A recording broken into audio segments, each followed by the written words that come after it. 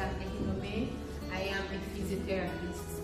Today, I want to talk about ankle sprain.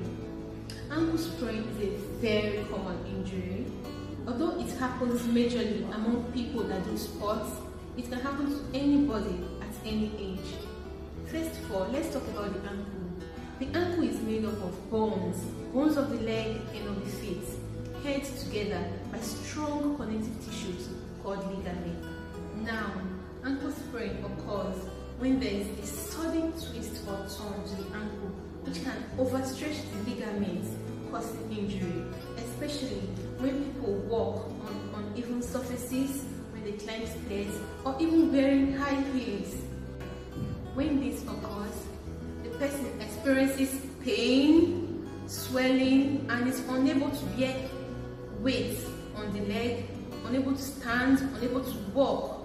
So it's very essential at that point that the person doesn't bear weight on the leg at all. Also, if the injury was severe, the person might experience cold feet or abnormal sensation indicating that a nerve was injured. So it's very important that the person seeks medical help at this point. Physiotherapy helps to manage the pain, the swelling, to increase the rate at which the ligament will heal up. It would um, restore the person to normal function. So it is very important that you seek the help of a physiotherapist.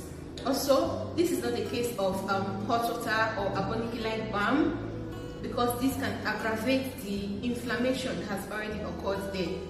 If proper medical help is not sought, the person is prone to reoccurrence of the ankle strain, the person is prone to chronic ankle pain, whereby the person complains, ah, this leg has been paining me for the past five years, it comes and goes.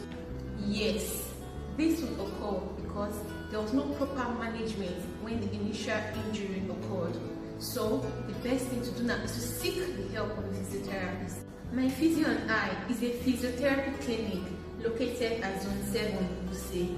You can call us, visit us at the clinic, or request us to and conditions at the comfort of your homes. Thank you and see you soon.